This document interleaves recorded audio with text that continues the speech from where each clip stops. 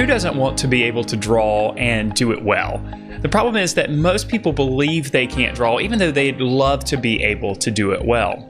The good news is that drawing is a skill that anyone can learn and develop, and just like any other skill, drawing requires a bit of knowledge and practice. Now, the practice is up to you, but in this video, I'm going to give you one major piece of knowledge that may dramatically affect your drawing ability.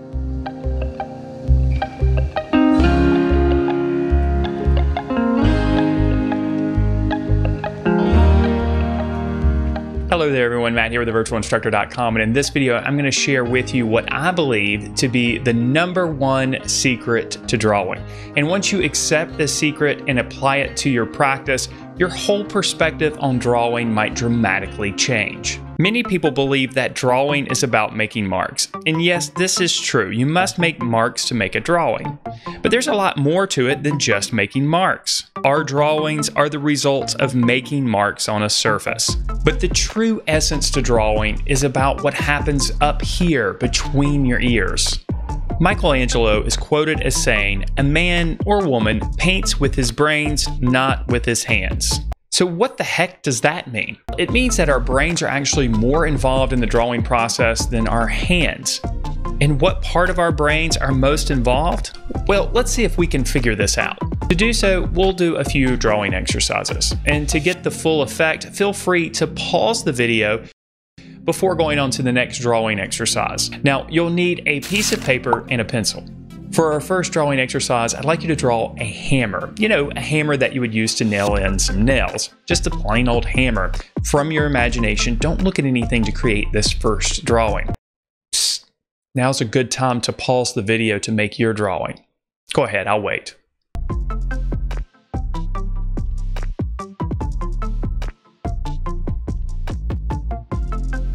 Okay, now that you've made your drawing, I'll make my drawing of a hammer using just lines from my imagination.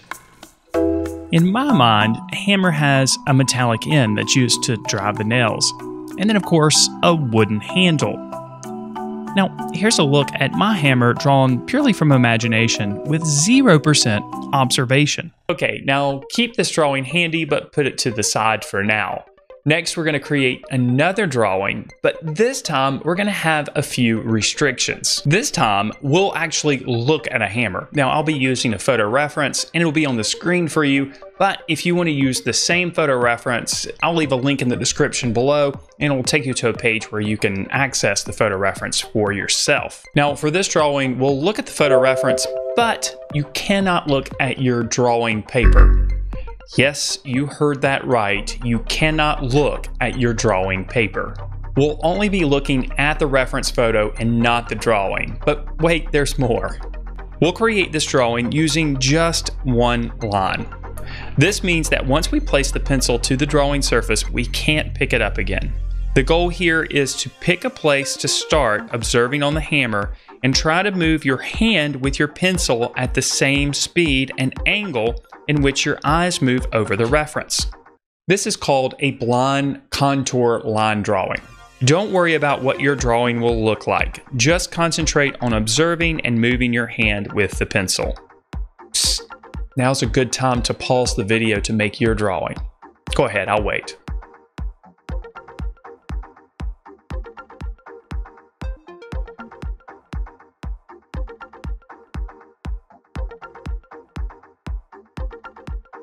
Okay, now it's my turn to create the drawing. Try not to laugh.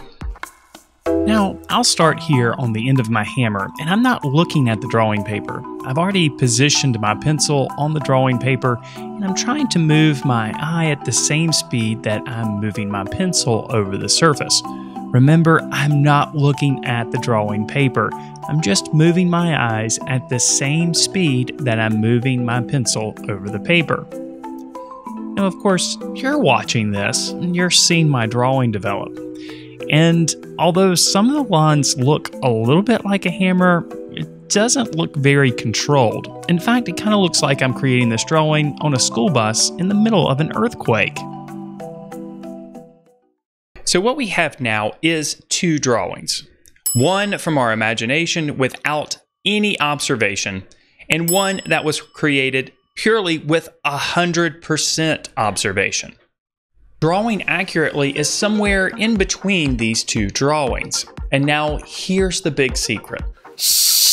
Drawing is at least 50% observation. Drawing is about seeing and recording what we see in the form of marks. Think about it. We can't take a photo of something without pointing a camera at it.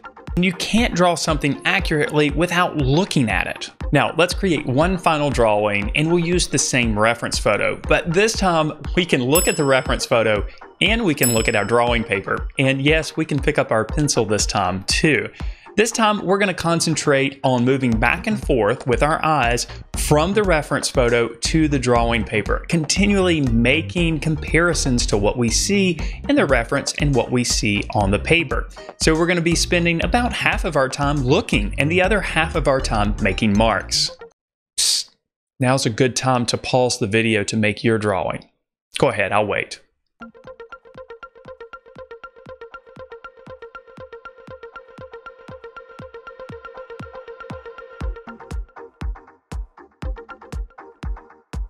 All right, and now I'll create my drawing using 50% observation. Okay, now we've got some freedom. We can look at our reference and we can look at the drawing paper, and of course, we can pick up our pencil now too. So now we're making comparisons between what we see in the reference and the marks that we're making on the drawing paper. In fact, it's a continuous process of going back and forth with our eyes between the photo reference and the drawing paper all the answers are sitting there waiting for us in the photo reference. All we have to do is see them and place them in the correct location on the drawing paper. And this is the essence of drawing. It is all about observation. As you can see here, the drawing of a hammer that I'm creating, it looks a lot more like a hammer than our blind contour line drawing. And then of course, once I've got my basic lines in place, I can go back with a darker, bolder line, of course, establishing the actual contour line drawing of the hammer. And now that's a much more accurate drawing. So there you have it. The number one secret to drawing is that drawing is at least 50% observation. It's about what happens between your ears a bit more than just making marks on the surface. And when you're practicing your drawing, you should also be practicing your observation skills because drawing ultimately is about observation. Thanks so much for watching this video. I hope you enjoyed it. I hope you were able to pick up a couple of things here and there. If you're new to the channel, please be sure to subscribe and click the notification bell so you're notified when we post new videos like this one. And if you want to take your drawing and painting skills to another level, I suggest you check out the membership program over at thevirtualinstructor.com, which includes a variety of drawing and painting courses on a variety of drawing and painting media and subject matter. We also have weekly live lessons, which are all recorded and stored in our vault, weekly critiques as part of the Members Minute, and a year long curriculum for visual arts teachers. If you want to learn more about our program and start your free trial today, I'll leave a link in the description below. Thanks again for watching this video, and as always, I wish you all the very best in your artistic success.